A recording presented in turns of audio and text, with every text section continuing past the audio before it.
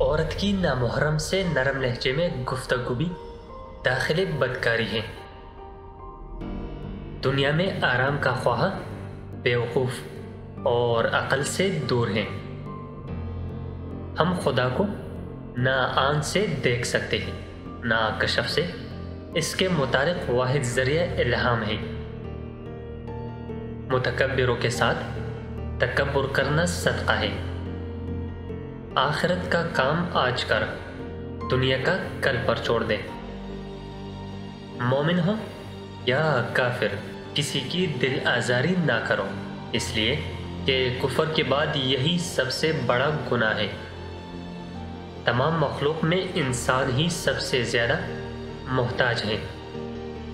एहसान हर जगह बेहतर है, लेकिन हमसाई के साथ बेहतरीन है।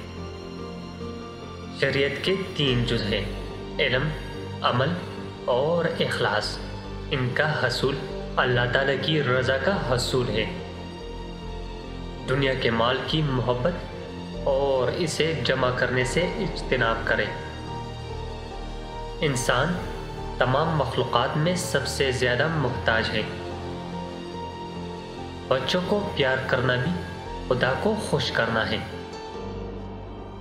दुनिया की मुसीबतों को बर्दाश्त कर, क्योंकि ये तेरी तरक्की का सबब बनेगी। जिस किसी शख्स के पास बीवी, घर नौकर और सवारी हो, वो बादशाह है।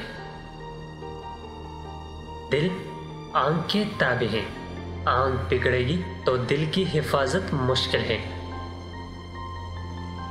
औरत का बारीक कपड़ा पहनना इसके नंगी होने के हुक्म में है।